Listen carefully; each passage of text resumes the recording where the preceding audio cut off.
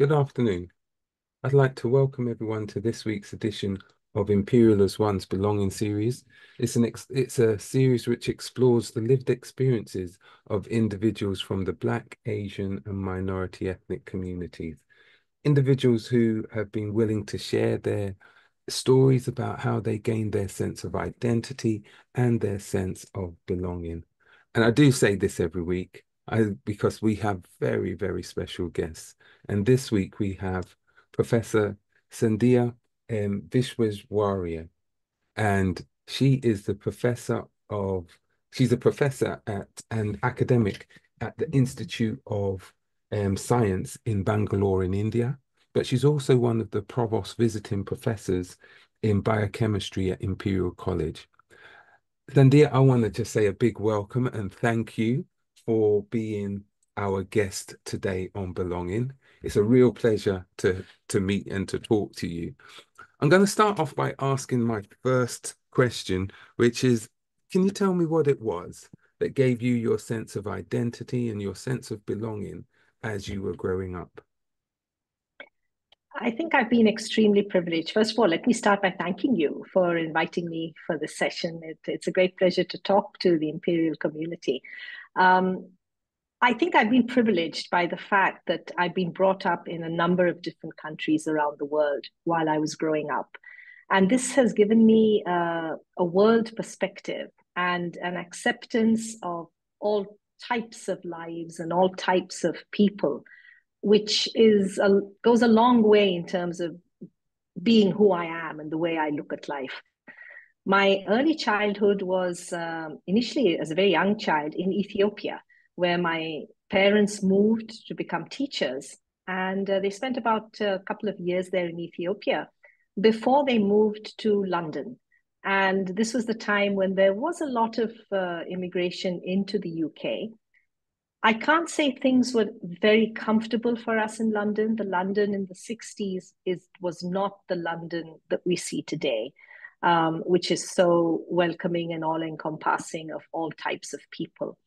We, at that time, found it extremely difficult to get accommodation in London because they were not very keen on families with children, coloreds, or dogs.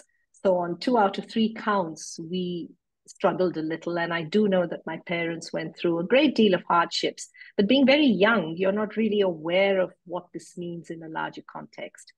My father completed his PhD and then moved on to join the uh, Educational um, Council in Stevenage. And there things were very different. Um, my mother continued teaching. I joined a school, Fairlands Junior School, where my brother and I both were there. My sister was born um, some years later. And uh, she was born in India. My father insisted that my mother go back to India and have her baby there and come back to London. So that, that, that, that was the deep sense of patriotism, at least, that my father had and inculcated in us to some level. Um, school was terrific for me. Um, and I really do believe that the way that I've looked at life has been largely shaped by the early education that I had in England. Um, I was academically inclined and therefore I enjoyed going to school. But I also appreciate the fact that so much emphasis was given on sports, art, um, painting as part of the curriculum in a school. And this is very alien to the way education is done in India. And so I think this breadth of exposure to different disciplines really shaped my thinking for a large part of my life. I then moved on to um, a girls' grammar school. In those days, grammar schools still existed, and I was in a girls' school.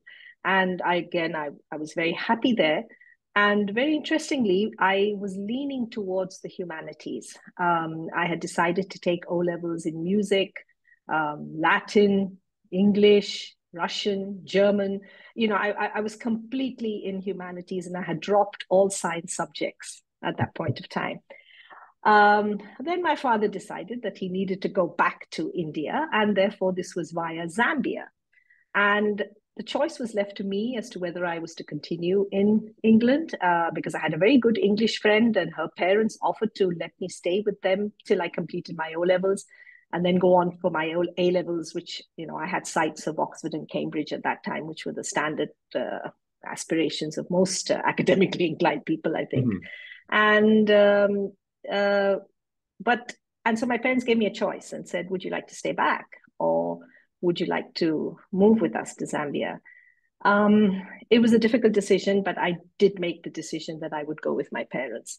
And I think a large part of it had to do with, at that time, feeling a little alienated in the community I was in. Um, I was, I think, maybe one or two Indian children in the entire school. And I, I, I somehow felt I needed the reassurance of the family with me at that point of time. And I didn't uh, feel I could be here on my own without them around. Zambia was very interesting, but I went there with a great degree of disappointment because I was extremely happy educationally in England. Uh, completed my O levels in Zambia, did extremely well, but then knew that my parents' destiny was India. And so I came back to India to complete my bachelor's. I got married soon after my bachelor's uh, degree and then went on to do my master's in chemistry. Um, it was a big switch for me in Zambia because I had to forgo, forego all the artistic inclinations that I had or the humanities inclinations and completely switch to science, whether it was uh, physics, chemistry, biology, mathematics. And the transition, I don't think I regret at all because fortunately I have dual interests. And so while I my profession is science, I have a I spend a lot of time in my life continuing my interests in English literature, theater, music, etc. Um, and then that's how I was shaped, I think. I think living in Africa, living in Europe, living in different cities in India has all really helped me become the person that I am, which I hope people consider is accepting of a variety of ways of living life. I don't think there is one correct way of yeah. living a life. I, I, I, I was just as I was listening to it, in my mind came the words like mapping the world because it, it almost seemed as though you were born in India, transitioned to Ethiopia, came across to England. Most of all of those were because of your father's interests. Yes. Yeah, and his his pursuits. So they didn't have any. You didn't have any control over any of those. No. But the consequences of you um, being his daughter and I thought that the story which you told about your little sister being your mum having to go back to to give birth and then come back because your dad wanted another Indian daughter. He did, he, he you know, yes. you know. I thought that, that that's brilliant. Um, but in all of those, I suppose the first one, the transition from India to Ethiopia, because you were so young, you probably wouldn't have had much memory of no. that. But that Not transition really from Ethiopia to England um, in your formative years. So I, I just want to explore that because you also mentioned about the fact that the slogans on the doors were no children, no Irish, no people of color. I'm I'm nicening up the language, but effectively, yes. and no dogs. yes. Yeah. Yes. So, um, so so it wasn't a welcoming environment, but yet you felt welcome or not i'm not going to say you you felt welcome how how would you describe how you felt at that time i think i had good friends. Uh, i made friends with a number of uh, english children. And so i don't think i felt alienated at that level. However culturally i was perhaps a little bit of a misfit. I was so interested in studying and academia, which mm-hmm. is not really the way teenagers in the UK were at that time. They mm-hmm. were more interested in partying at the Mecca and, you know, the, the, the, going for dances and which boyfriend and which girlfriend. And, you know, th- these are things that were completely alien to me. And I to that extent felt alienated at that level because every Monday morning, all the girls would be talking about what they did on Friday night and what they did on Saturday night and this boy and that boy. And I would just have to just keep quiet because it didn't connect with me. I would be at home reading a book or something. So, yeah. so but I don't think I ever felt any hostility towards mm-hmm. me.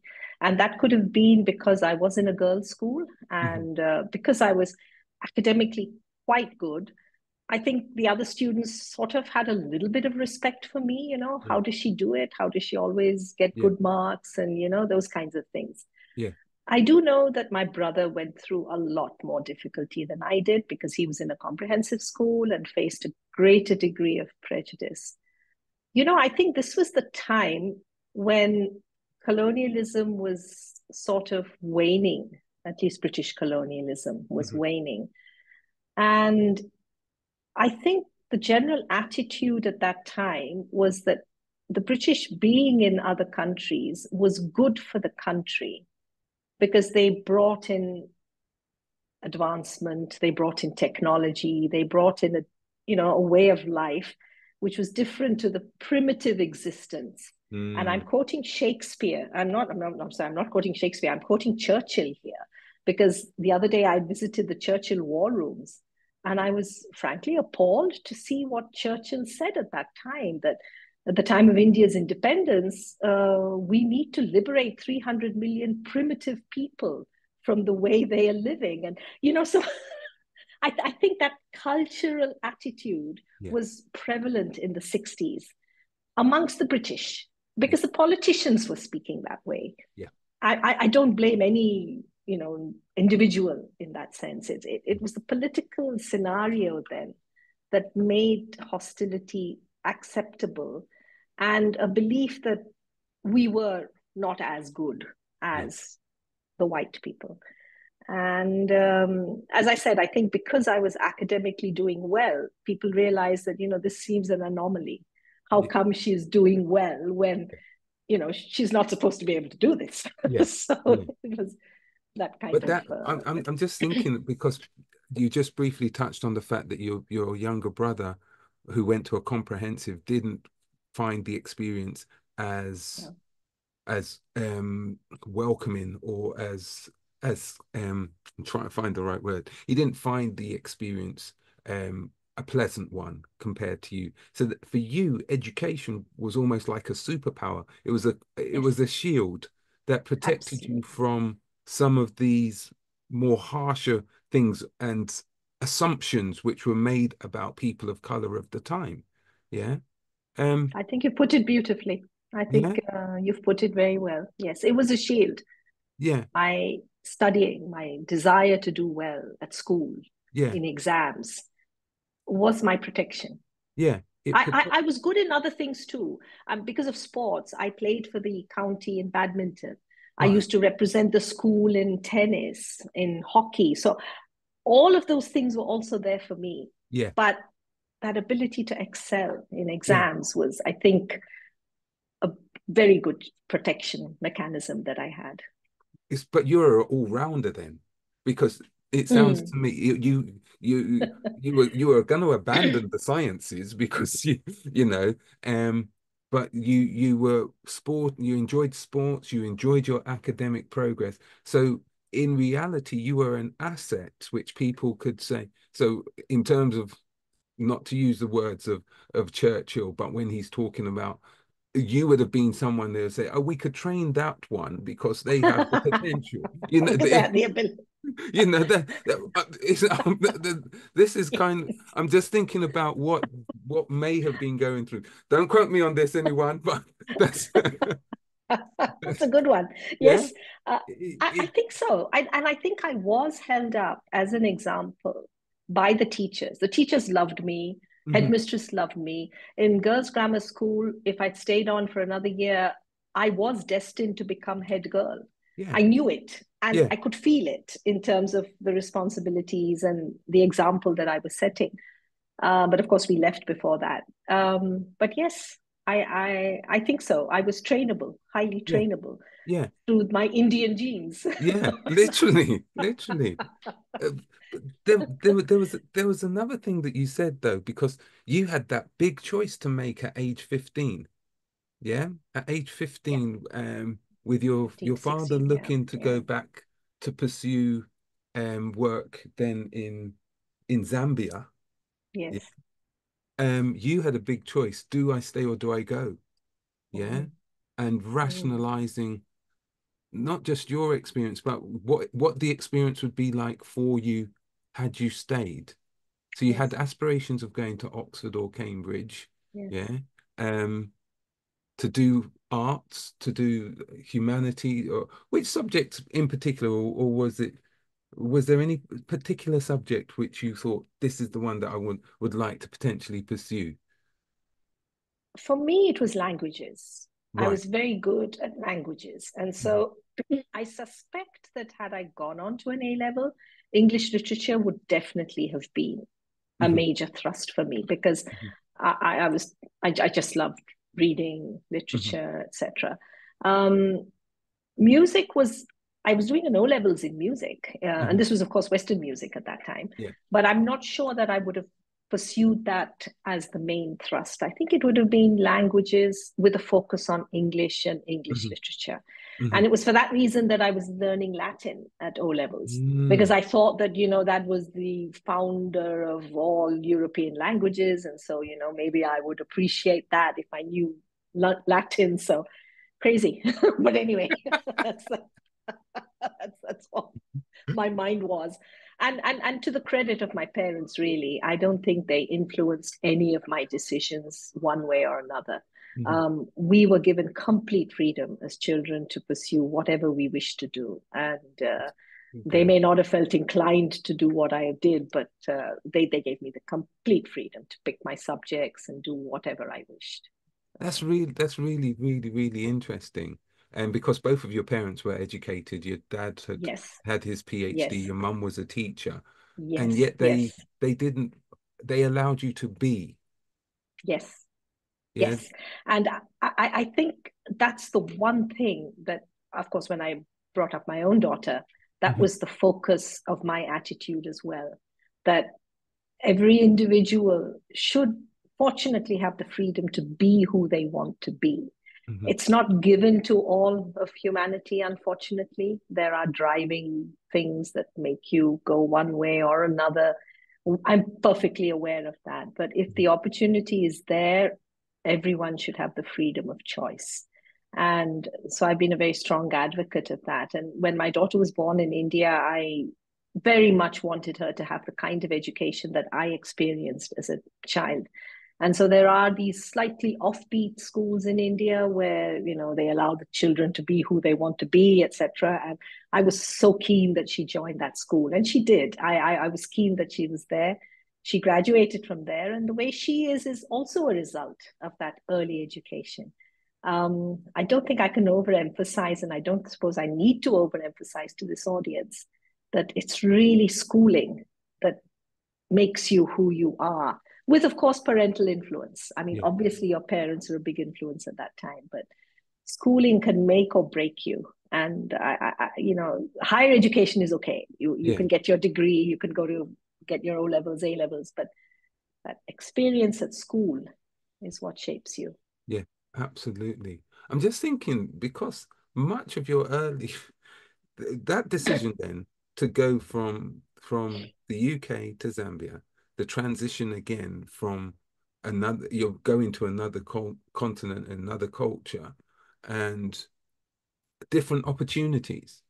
Because your Mm. dream of of going to you could still have gone to Oxford or Cambridge because they, uh, from what I understand, they were still doing the Sure. um, the A levels, which would enable you to qualify. Yes. But the choice of A levels were now different. Is Yes. that right? And then what? Absolutely. Uh, so because I had to give up all those uh, humanities subjects when I moved to Zambia, um, you know, Zambia at that time was an exceptionally wealthy country. Mhm. Um, their copper industry was roaring, and so the lifestyle that we had, to be honest, in Zambia was much better than the way we were living in the UK. Um, in terms of the roads, in terms of the you know the, the normal infrastructure that was Yeah. there. But that was my limitation that I had to take up science to be able to complete the required number of O levels uh, for being able to Mhm. pass out. Um, I did exceedingly well there. I, I came first in the country. I think I had aspirations of doing medicine at that time, but it but because I knew that you know my parents were saying India, India, India, it seemed to me like a place where one had to be. so I I went back to India and then went on with my bachelor's, uh, etc. It's it's it's it's kind of strange. I at this point of time in my life, mm-hmm. I don't feel patriotic about India. Mm-hmm. Um, I, I, I believe in a worldview. I think mm-hmm. all humans are the same. And, you know, so even when I'm watching the Olympics, I look at it as individual excellence, not necessarily representing the country that they come from, you know. So, I, but I don't know. Obviously, there is a strong nationalist feeling amongst many people, and I don't have that. Mm-hmm. And I feel I, I, I can support a UK athlete as much as I can support an Indian athlete or an American athlete if they're doing well. That's all that matters to me. you know, they're at the peak of their performance, not the country they come from in so many ways. So uh, yeah, the decision to go back to India was again a major decision on my part. Um, you know, when I look back. Mm-hmm especially that I've lived in London now here for a year mm-hmm. and I've visited Oxford and I visited Cambridge and I'm of course the privilege of being in Imperial right now. Um, maybe there's a little tinge of regret as to the road that I did not take. Mm-hmm. But you know, this profession has given me the opportunity to travel the world. Um, I, have lived, I've been to the US, of course, I've been almost in every country in Europe, Asia. So this profession has allowed me to continue nurturing my deep held belief in one humanity and experiencing cultures as they mm-hmm. are across the world. But perhaps, maybe, if I had made a different decision, um, the only consolation I get is if I made that decision, I wouldn't have had the daughter I had and I wouldn't have changed that for the world. I, I, would love to meet your daughter. She sounds lovely, and if she's anything oh, like her mum, she's, she's... she's, a very ordinary person, but I'm her mother, so that, that's the reason. right. The, the, it's really interesting the way that you summarize that because one of the things which it sounds to me like is that especially when you spoke about the the non-nationalistic perspective um, and saying that you not that you don't you want to see excellence you want to see people excel but not necessarily necessarily at the expense of saying this is because my country is better than your country which is yes. something which we often we, we see it all the time we see it all the time. There's patriotism yes. and things, but it's when it boils over to say that, you know, we are better because mm-hmm. it, whenever we put that connotation, it's always belittling somebody else, if that makes mm-hmm. sense. Absolutely. Yeah. You're absolutely um, right. And I'm just thinking about it in terms of the fact that it was especially during your formative years that you had traveled so, to so many countries, but yet it was at that point when you were in the Zambia and or when your parents, their ultimate dream was always for them to go home, right? Yes. And for them, home yes. is India. So I suppose yes. part of my question is, um, where do you see as home? I had hoped you would not ask me that question. I'm sorry. Be- because I feel much more at home here in London than I actually do in Bangalore, in hmm. India. There are certain cultural norms and societal norms in India that are actually antithetical to everything I believe. It's a very patriarchal society there are very defined roles amongst the majority of the population as to the role of women. We're making some headway there, but when you're dealing with 1.2 billion people, it's extremely difficult to make an impact uh, at a small level.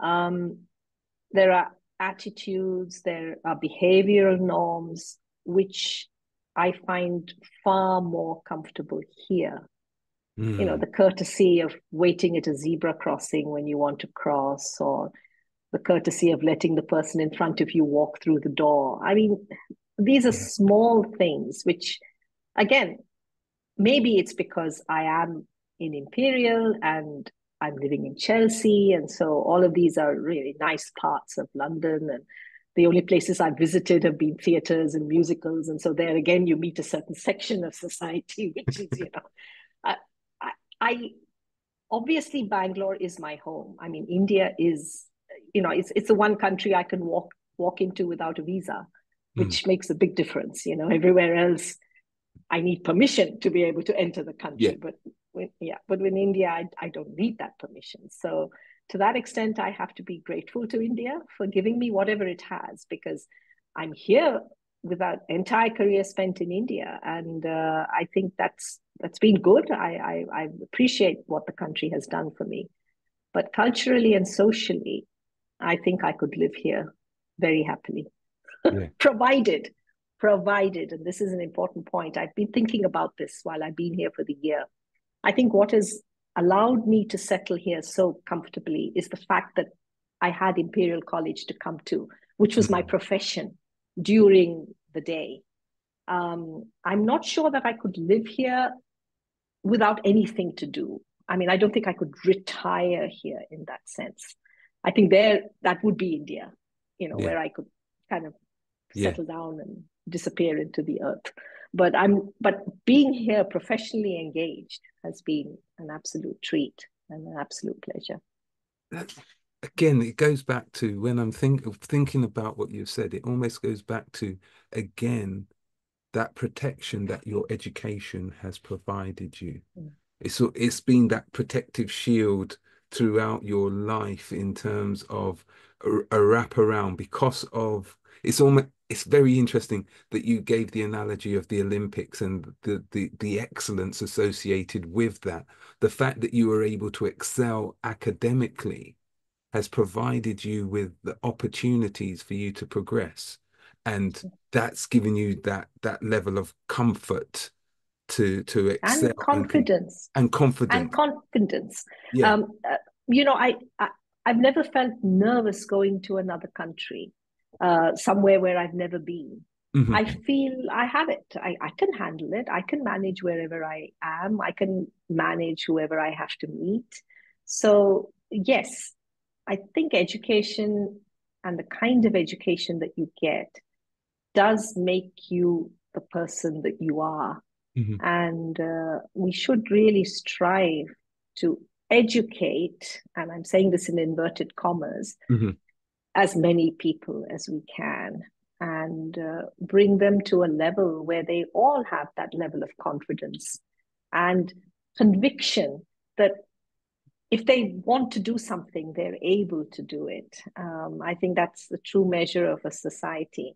Yeah. And while there are many, many problems in the US of A, um, I think if you think about the origin of some of its achievers, it's amazing that they came from the background that they came, the first yeah. immigrants in the country going on, second generation become presidents or vice presidents. I mean, that that's a big deal.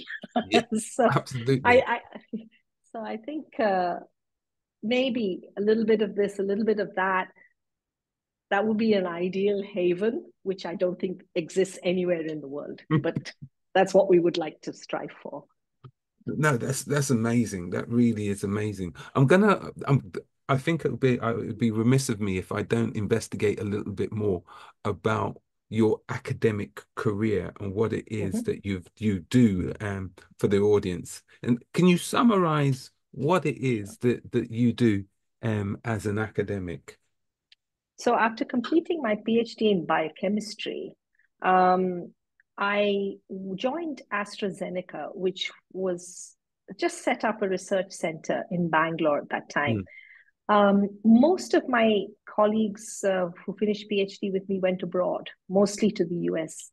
But I had a child at that time. My daughter was there. My husband was, you know, in based in Bangalore, and uh, I just didn't think it was right, and I didn't feel like leaving them and you know taking off, and because it was not possible for them to join me at that time.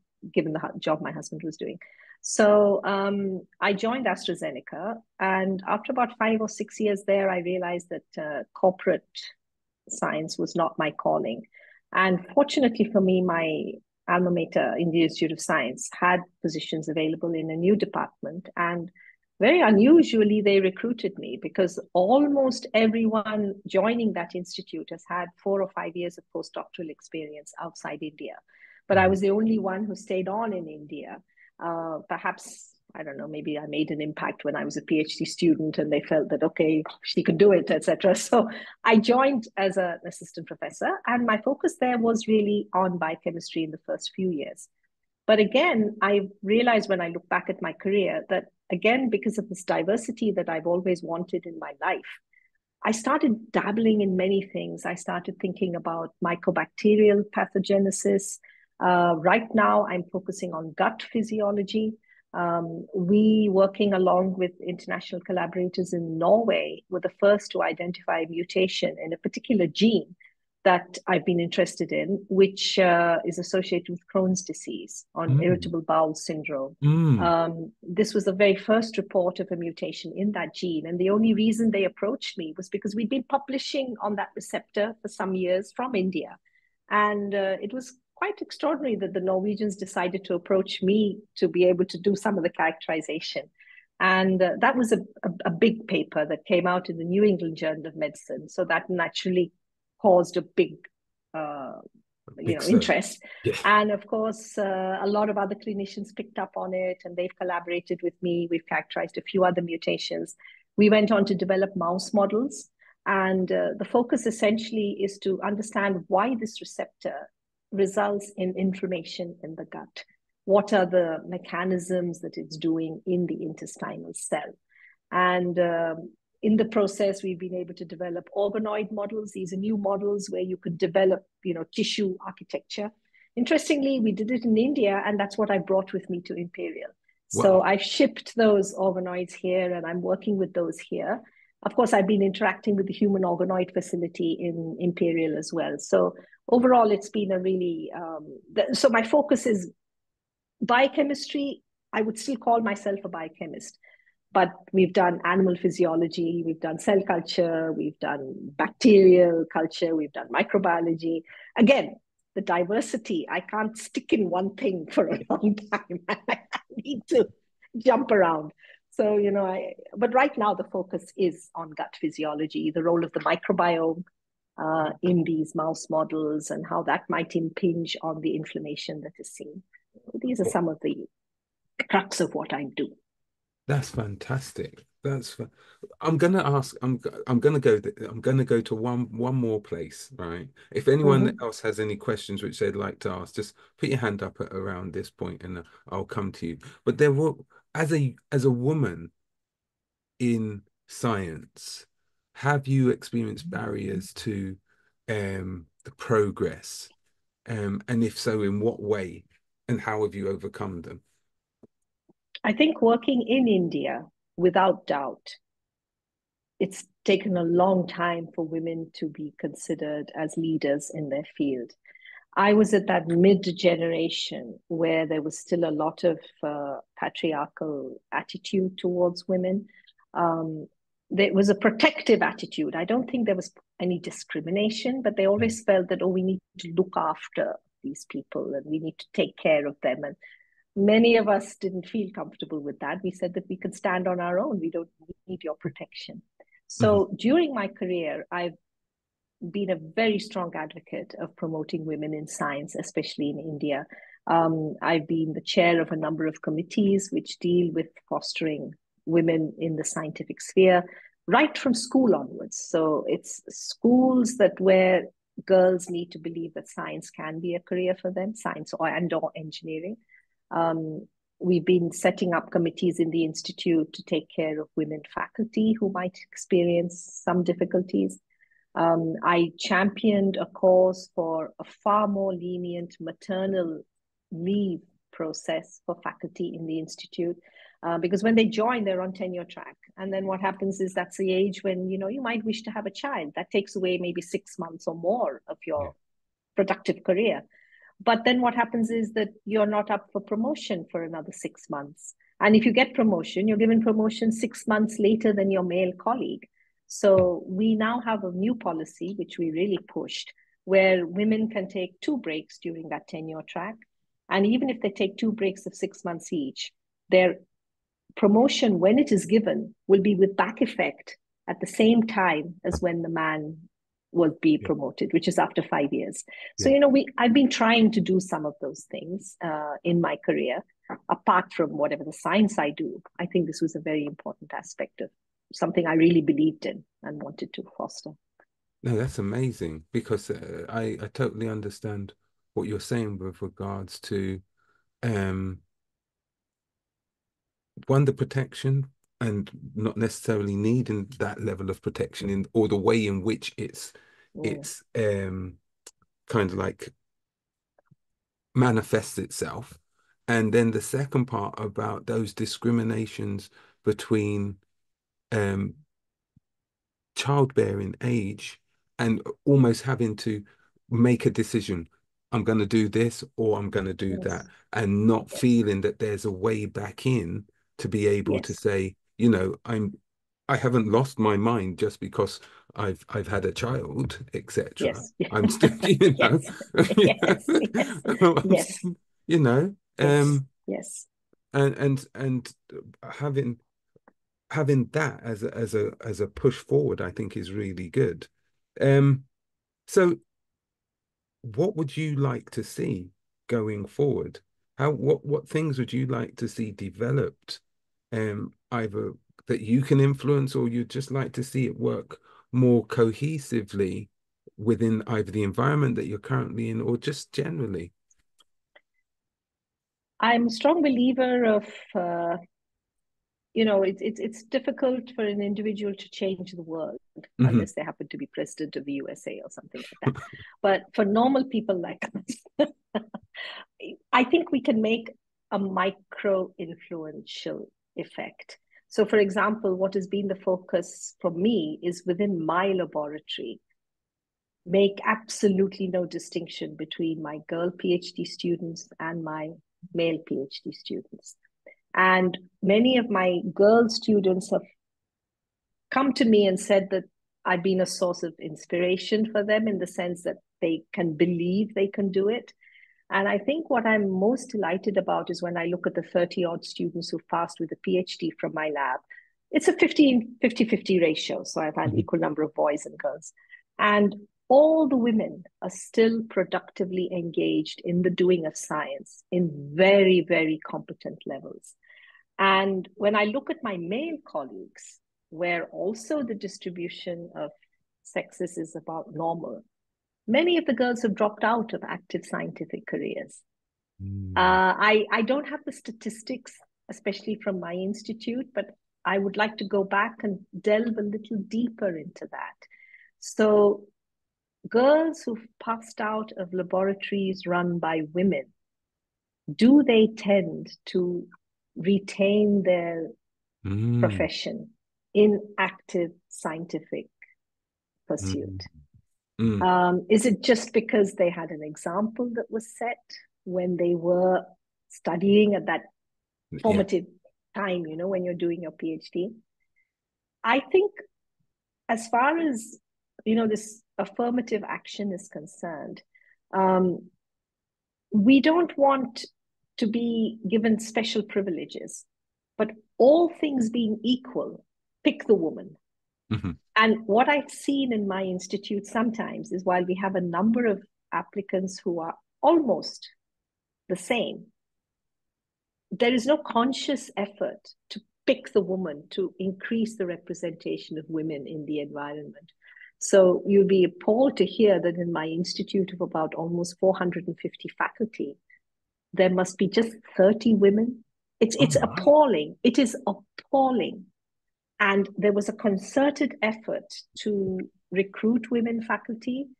Um, but you know, many of the women feel they're not good enough, and that's mm. again, you know, that feeling that women have that am I smart enough to get into this institute, etc. But it is it is it is a real shame that an institute like mine has such a poor representation of women faculty.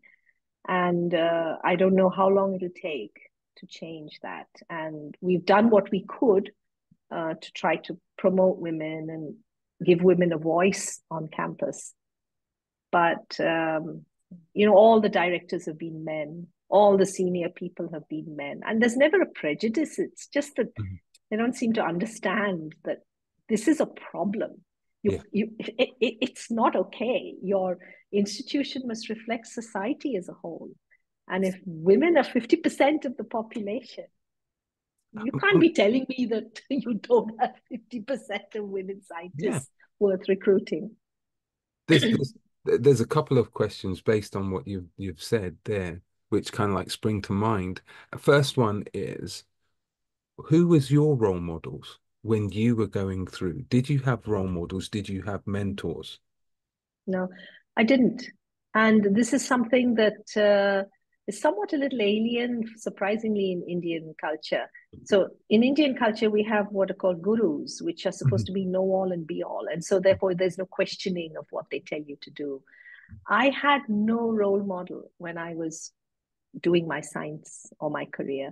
Um, what I've done is I've just just done what I've had to do. I don't think there was anyone that I looked at did I have a mentor in the institute? No, I did not have. My PhD supervisor was there, but he was a difficult person. He was difficult and uh, he was a good scientist, but not a very nice person to mm. interact with and mm. feel comfortable with.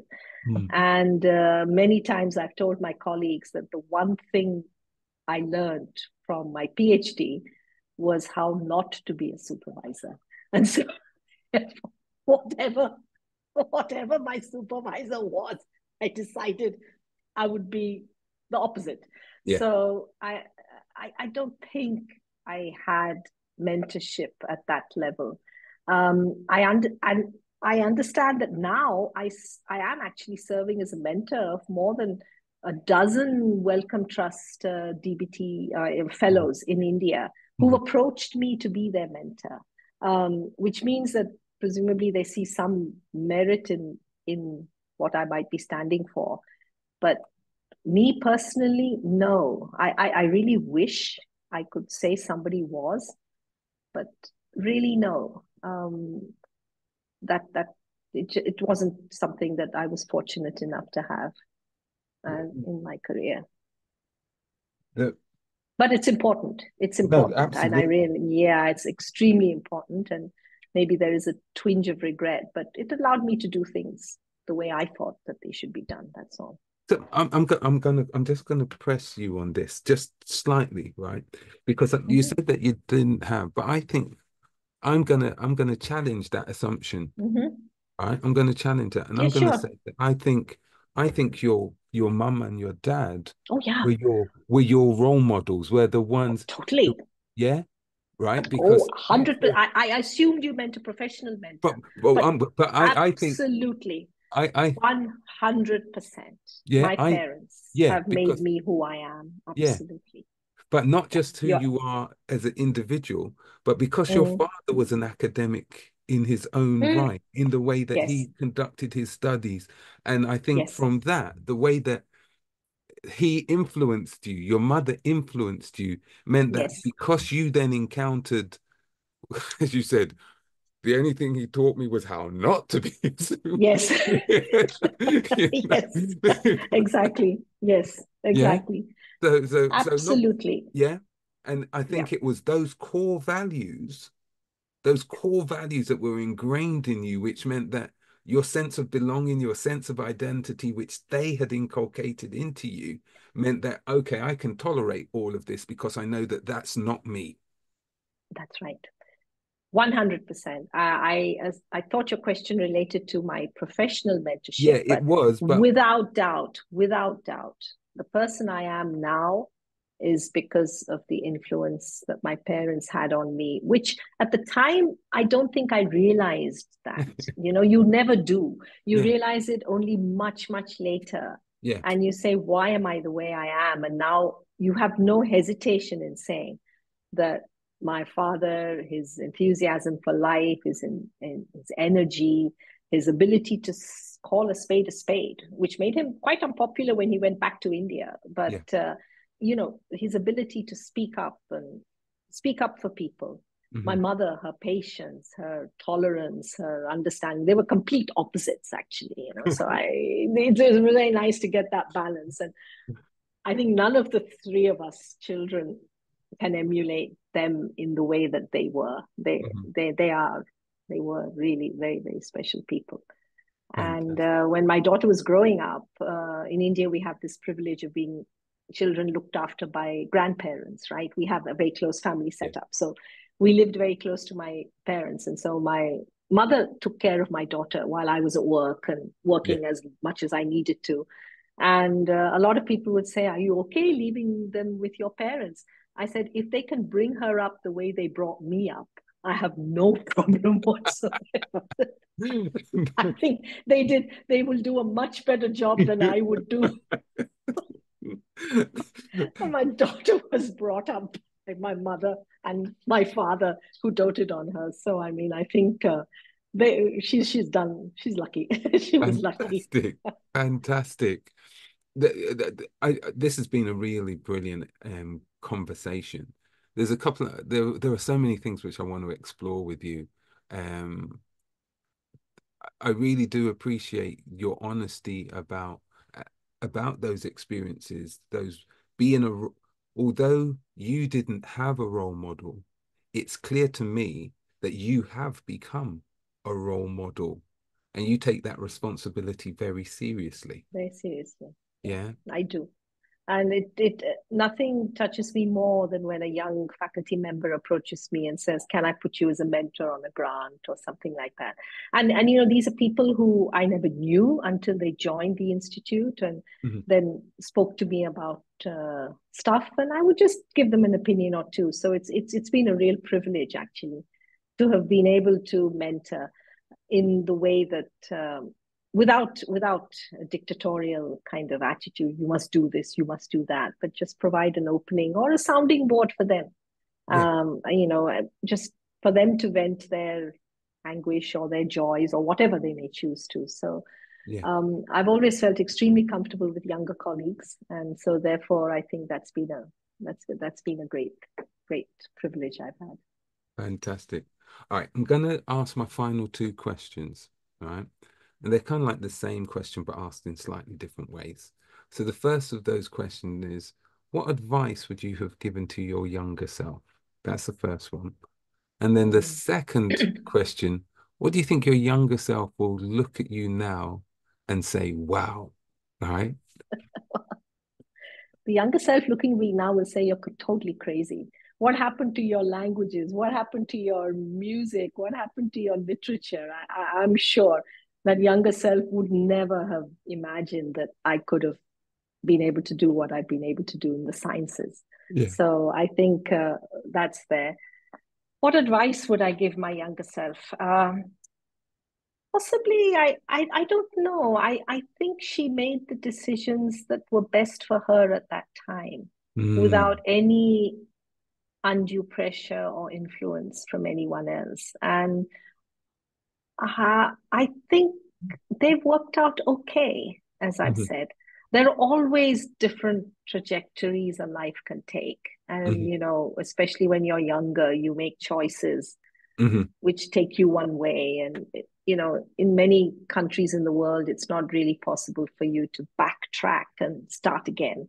So, especially in a country like India, the minute I got into science, there was no way that I could come back to the humanities in India. Mm. And with the difficulty in India, as you know, it's so culturally diverse with so many languages that, mm-hmm. you know, even to imbibe that culture, to come back to it would have would have been superhuman effort from my side, mm-hmm. and I didn't find that appealing. So yeah, yeah, I, I I think the younger self she did okay. She she made a decision. She stuck by that decision, and uh, she's all right. She's here. So. I, I, like that. This, go on, go on. Sorry. In, this stay in Imperial has been amazing. I, I I remember when the offer letter came, I kind of looked at it and said, being Imperial College London. You know, it's like it's a full circle to what I had dreamt of as a yeah. child to be yeah. in a leading university in the UK. Yeah. And to have been here for this one year has been absolutely tremendous. Fantastic. I, I, I'm so glad that we were able to meet and to have these conversations because they, they've been enlightening for me, and I, I, I really have enjoyed your candor, your humor, and and how we've we've explored um your sense of belonging and your sense of your identity. So I want to say a really big thank you for for being our guest this week. Okay. And a big thank you to you too for asking me. It's been a pleasure to talk about all Fantastic. I'm going to just share what we've got coming up next week. So if I just, um, so, two, right. So next week we're going to have Abigail um, Bang, um, Bamboy, and she's a um, She's currently doing an MBA at Wharton College in the US. Um, she was a former student here at Imperial College, and she's going to be sharing her experiences with us next week. Um, if you have missed any of the other um, interviews that we've done on belonging, then please go to our YouTube channel, which is tinyurl.com forward slash belonging dash IAO. And you'll be able to hear the the other videos which we've posted there. And I always say this at the end, it's such a privilege to be able to speak to so many brilliant people, to hear their the, the things which we may look at them and wonder how did they get there? What were the the factors that nobody just appears at, in a position where they're that they're in without there have been sacrifices and other things which have influenced them. So for so many to have shared those stories with us, I just have to say a really big thank you. Um, and understanding how it, they gain their sense of identity and belonging is all what we're about here. So enjoy your weekend, enjoy the sun, and we'll see you again next week as we share another episode of Belonging. So thank you very much. Thank you.